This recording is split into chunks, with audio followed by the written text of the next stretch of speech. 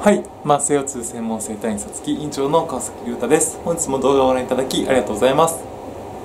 本日も、えー、と痛みでお悩みのあなたに痛みの改善のためのヒントアイデアをお届けさせていただこうと思います。はい、えーとですね、また京都の方に来てますので、今のうちにですね、えー、と動画を撮っておいてですね、えー、としっかり更新させていただこうかなと思っているところです。気づいた方はですね、今日もまあ何本か、はい、撮ってますけれども、えー、とそういった形でですね肩の痛みについていくつかお伝えさせていただきました。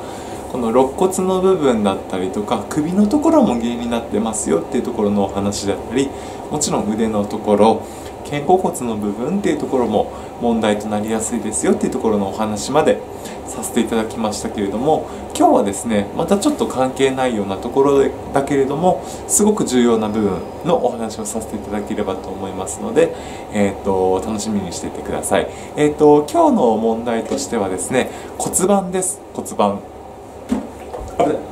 なのでそのためにですね、えーと、こういったちょっと話して撮ってるんですけども骨盤のお話をちょっとしていこうかなと思います。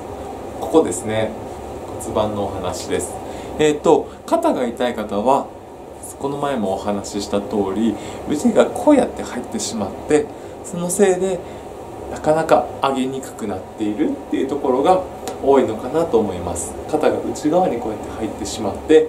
こうなってきてますけれどもじゃあこの肩が何で内側に入っているのかっていうところも考えていただきたいなと思いますけれどもそれがね骨盤の歪みだったりしていきます。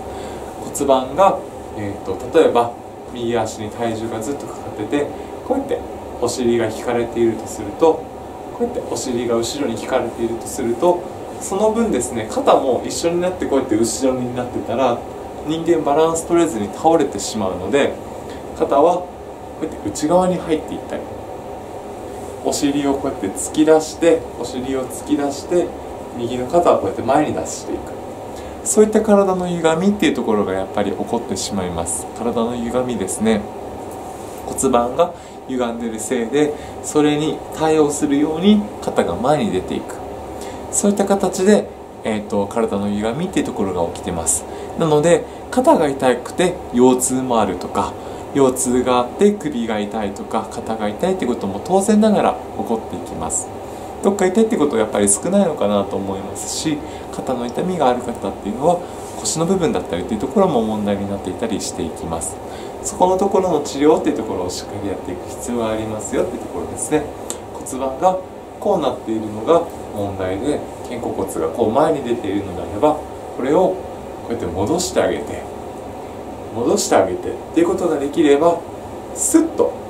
腕も上がっていくっていう形になっていってます。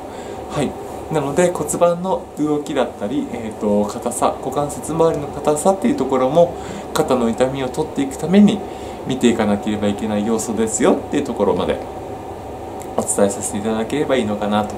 思います。はい。えーと、私の骨盤だったりってどうなってるのかなっていうところ知りたい方はですねまず、えーと、トイに遊びに来ていただいてですね、えーと、初回の説明だったりっていうところを受けていただければいいのかなと思います。はい。えっ、とまたね何かわからないことがあれば下にホームページの方のリンク貼ってますので、えーとご連絡いただければと思います。はい。本日のお話は以上となります。本日も動画をご覧いただきありがとうございました。